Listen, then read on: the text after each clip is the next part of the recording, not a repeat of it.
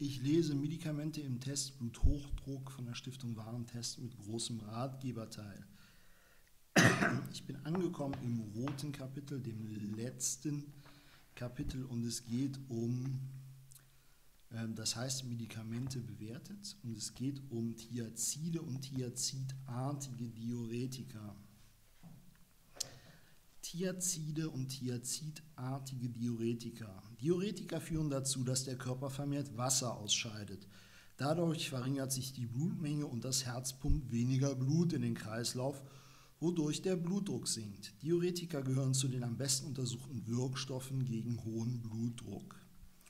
Chlortalidon, Hydrochlorthiazid und Idapamid sind geeignet bei hohem Blutdruck.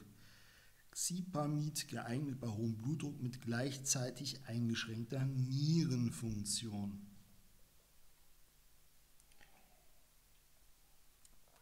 Thiazide sind eine spezielle Gruppe von Diuretika.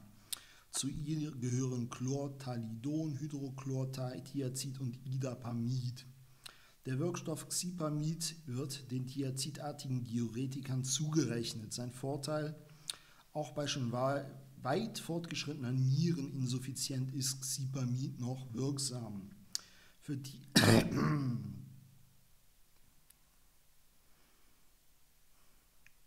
Für Thiazide ist belegt, dass sich die Folgeerkrankungen eines hohen Blutdrucks wie Arteriosklerose, Herzinfarkt, Herzschwäche oder einen Schlaganfall verzögern oder verhindern können.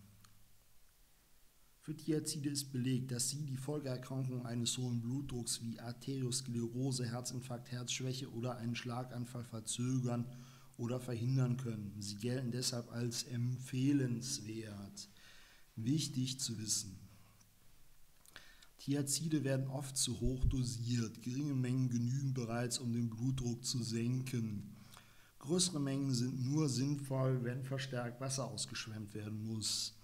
Zum Beispiel Ödeme bei Herzschwäche oder wenn der Blutdruck nicht ausreichend sinkt, weil zum Beispiel mit der Nahrung zu viel Salz aufgenommen wird.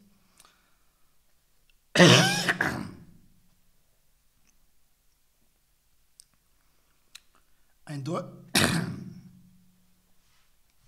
ein deutlich blutdrucksenkender Effekt tritt meist zwei bis vier Wochen nach Behandlungsbeginn ein. Oft ist er erst nach zwölf Wochen optimal.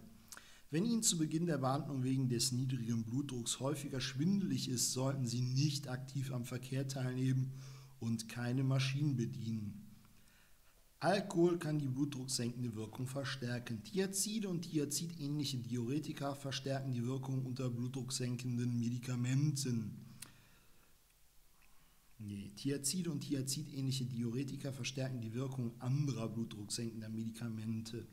Insbesondere in Kombination mit ACE-Hämmern oder Satanen sinkt der Blutdruck deutlich ab. Die Mittel können die Haut empfindlicher für UV-Strahlen machen. Das kann sich besonders nach Sonnenbädern oder Solarienbesuch zeigen. Wenn Sie kurzsichtig sind, kann sich diese Sehstörung durch die Anwendung von Thiazid-Diuretika weiter verschlechtern. Dann müssen Sie Ihre Sehhilfe anpassen lassen. Häufig. Bei mehr als 1 von 100 Behandelten steigt der Blutzucker an. Dadurch kann ein bislang nur unterschwellig vorhandener Typ-2-Diabetes in Erscheinung treten, insbesondere bei stark übergewichtigen Menschen. Der Blutzucker sollte daher einmal jährlich kontrolliert werden. Wenn Sie Diabetes haben und Insulin spritzen oder blutzuckersenkende Medikamente einnehmen, sollten Sie Ihre Blutzuckerwerte häufiger als sonst kontrollieren. Thiazide und Thiazid-ähnliche Diuretika können einen Kaliumverlust nach sich ziehen, die Störungen an den Nerven, am Herzen und im Stoffwechsel verursachen kann. Eine kaliumreiche Ernährung mit Bananen, Aprikosen, Gemüse oder Trockenobst kann den Kaliumverlust etwas ausgleichen.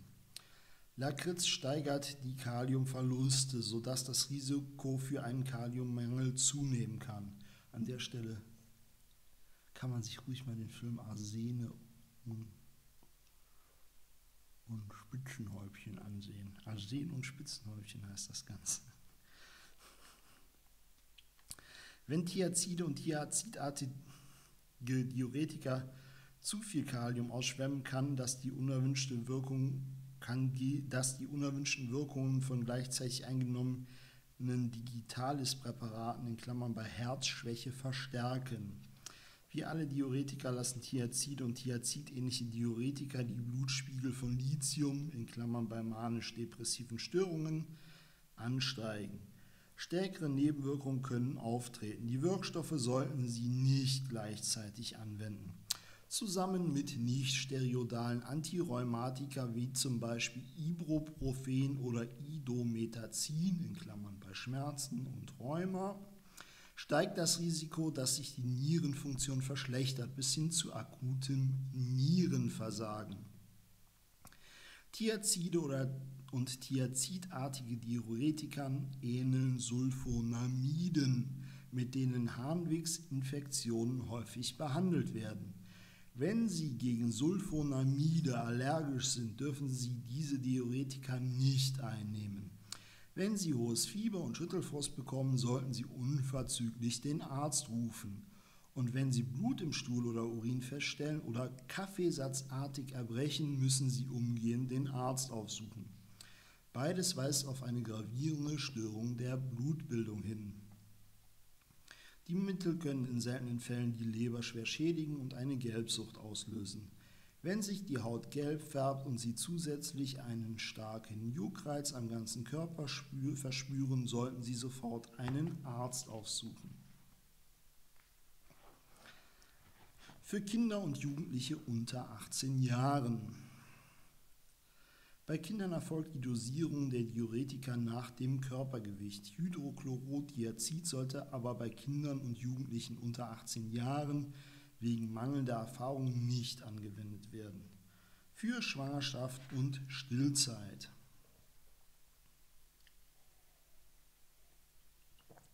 Alle Diuretika sind in der Schwangerschaft möglichst zu meiden. Ist dennoch eines erforderlich, kann Hydrochlorothiazid eingesetzt werden. Bestenfalls sollte der Arzt aber, wenn möglich, auf andere Arzneimittel umstellen, etwa Methyldropa.